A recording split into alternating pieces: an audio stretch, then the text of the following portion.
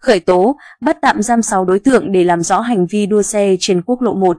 Thông tin từ Công an tỉnh Tiền Giang, Cơ quan Cảnh sát điều tra Công an huyện Châu Thành đã khởi tố vụ án, bắt tạm giam 6 đối tượng để điều tra làm rõ hành vi gây dối trật tự công cộng.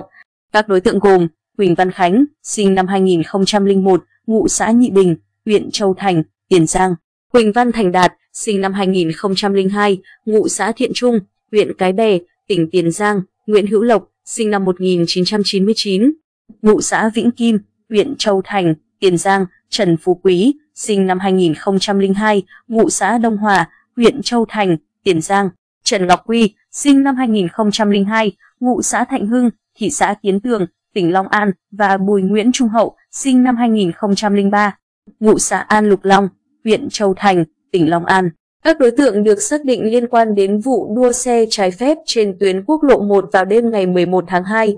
Theo điều tra ban đầu của Công an huyện Châu Thành, tỉnh Tiền Giang, vào lúc 22 giờ ngày 11 tháng 2, sáu đối tượng trên cùng một nhóm thanh thiếu niên tụ tập nẹt vô, lạng lách, đánh võng trên quốc lộ Y, đoạn thuộc ấp Long Bình A, xã Long Hưng, huyện Châu Thành.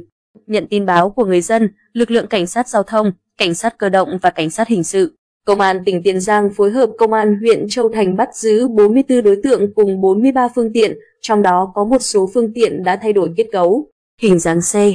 Qua điều tra, đối tượng Quý và Khánh thừa nhận hành vi tụ tập dàn hàng ngang, chặn dừng các phương tiện tham gia lưu thông để các đối tượng khác tham gia đua xe.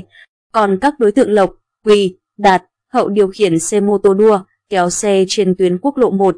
Vụ việc đang được công an huyện Châu Thành, tỉnh Tiền Giang tiếp tục điều tra mở rộng.